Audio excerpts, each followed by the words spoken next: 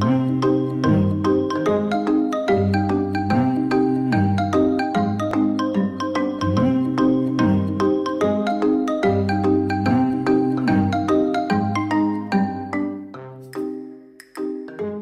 on est toujours dans la deuxième phase du projet, une, quand même une phase assez longue qui s'étale sur plusieurs mois.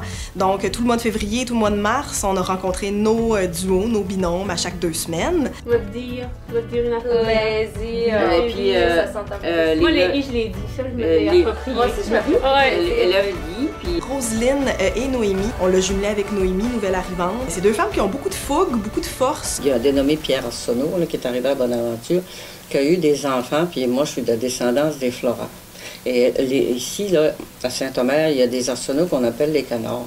Alors, moi, je suis une canard. Une canard. Et il y a des Arsenault qu'on appelle des blettes. À, Saint-Omer, je suis pas parent avec les blettes, mais je dois l'être en quelque part, là, de- du, du premier Pierre. Et puis, à Bonaventure, il y a des Arsenault qu'on appelle des ours. Je pense que c'est plutôt peut-être pour ça, là, parce qu'en 2002, c'est ce que mes collègues de travail, c'est ce qu'ils me disaient. Quand j'allais au travail et que j'arrivais et je me garais, et puis ils rigolaient, ils me disaient Ah, ben, il y avait quelqu'un, en fait, il y avait un chauffeur dedans, on n'a pas vu. On a rencontré euh, Astou et Rachel. Astou, c'est une nouvelle arrivante qui vient du Sénégal. Euh, Rachel, qui, elle, habite à Bonaventure, qui est ici depuis longtemps. Euh, une belle rencontre entre ces deux femmes-là. Puis là, je voyageais en autobus ou en métro. Et pas, je me disais, quand tu fais d'attendre l'autobus, point d'arrêt, de ouf, ouf, ouf, et que je trouvais ça dur. Hum, ouais. Pas habituée à ce froid-là, moi, là. là. Eh oui, eh oui. Oh, que j'ai trouvé ça dur, ces, ces deux mois-là. Oh, C'est angoissant, en fait.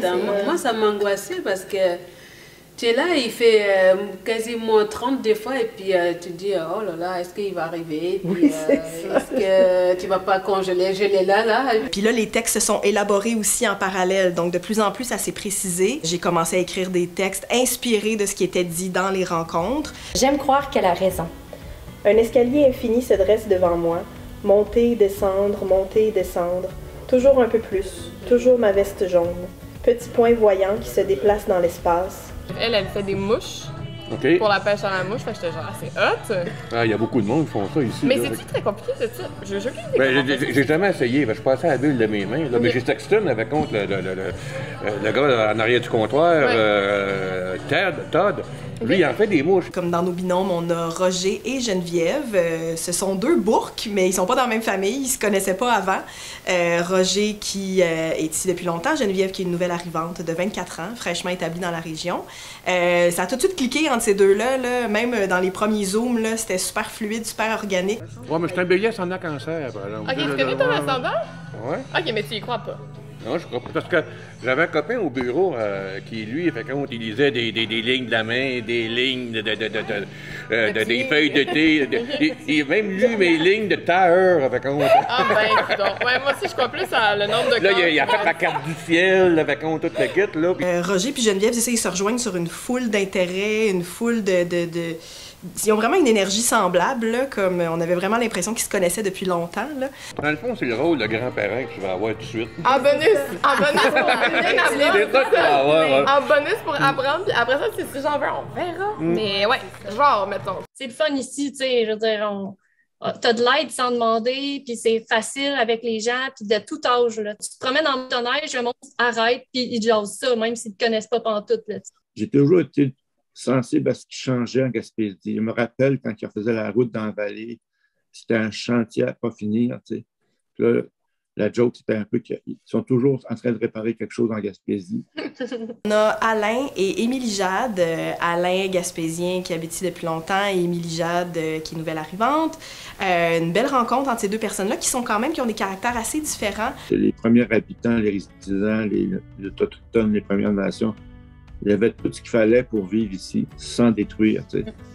Nous on, est héritiers d'une tradition européenne, etc.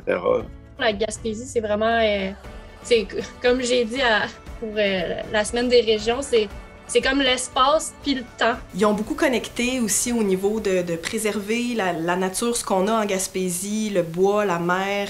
Ça donne un texte quand même un peu poétique, une espèce de mix entre du dialogue très concret et le côté poétique d'Alain. Cette rivière qui disparaît, le vent qui prend le contrôle de notre canot à voile, une pêche étonnamment miraculeuse, On remet même plusieurs bêtes à l'eau, ne voulant pas abuser de cette générosité. Les participants ont tous été en contact avec leur texte. Euh, ils vont pouvoir euh, le, lire, se l'approprier. Et là, c'est là que Geneviève Lacroix fait son entrée dans le projet euh, comme metteuse en scène, en fait, fait la mise en lecture. Donc, elle commence la phase de répétition avec chaque duo. Donc, le mois d'avril est vraiment consacré aux répétitions. et on va présenter ce résultat-là sur scène au Quai des Arts le 30 avril devant public. Et on a bien hâte.